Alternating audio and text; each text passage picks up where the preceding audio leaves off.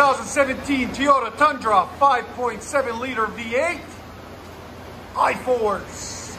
Really nice truck. I don't know about that uh, push cart, but everybody's different. Um, what we got done on it for you guys, got factory converters there. And there it comes with a total of four, if you guys didn't know. Then we replaced all the piping, it was all rusted out. So we went true dual all the way back, two and a quarter, into Flowmaster Super 10, dual in, dual out, part number 8425. I can't read your writing, buddy. Okay, 8425154, dual in, dual out right there, as you guys can see. There it is.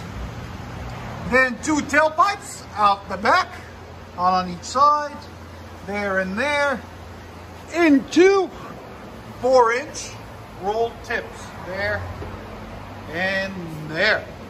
Right there, right there, on this beautiful Toyota Tundra. There's the muffler we cut off. You see how it's all rusted out?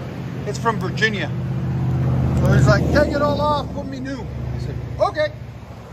This is after. We'll let you guys hear it in a second. Hope you guys like it. And there'll be a link in the description for the tips and the muffler. Much better.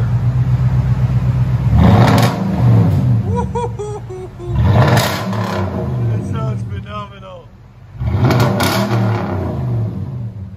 I like it. Your sound decibels? 111. Go ahead and back it out.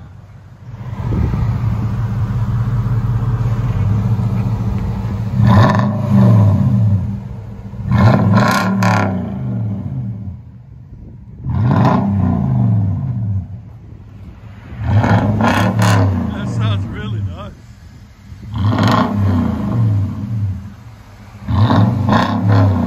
What do you guys think? Let me know in the comments. Hope you guys like it.